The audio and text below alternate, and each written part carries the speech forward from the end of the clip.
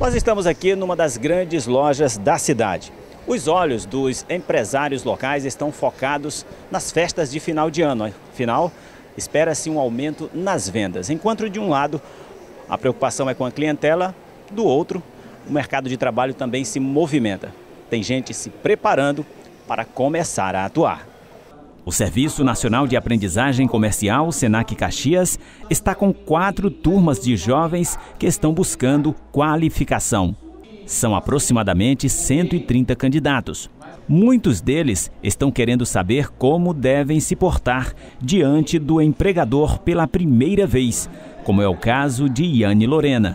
Eu vejo o Senac como uma oportunidade, uma nova oportunidade de alcançar dar, abrir as portas para alcançar os meus objetivos.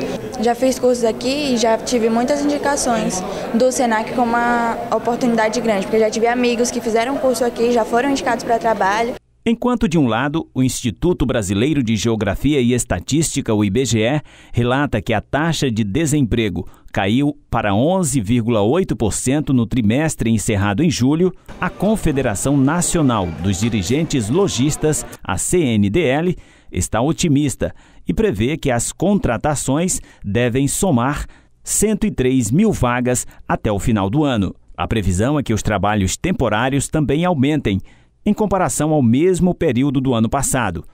Serão quase 44 mil postos de trabalho, afetando positivamente os setores do comércio e serviço. Isso anima jovens como a Duílio Gonçalves, que busca o primeiro trabalho. Tendo experiência, estou tentando entrar, ingressar no mercado de trabalho agora. Aqui você está buscando a orientação para chegar de uma forma mais assertiva. É Exatamente, estou buscando um, um preparamento melhor para ter melhores oportunidades. Alguns clientes já estão antecipando as compras, mesmo que por necessidade, como é o caso de Cleomar Silva, que está adquirindo um aparelho de TV. É levar a televisão agora porque estou precisando, estou comprando uma nova para ver como é que vai ficar. Esta procura antes do previsto também faz com que o comércio se antecipe. Esta loja tradicional de Caxias já realizou todas as contratações para este final de ano e por um bom motivo, além do otimismo. Olha, nós precisamos treinar as pessoas, deixar as pessoas qualificadas para o atendimento até esse período. Então, há necessidade de se fazer com antecedência.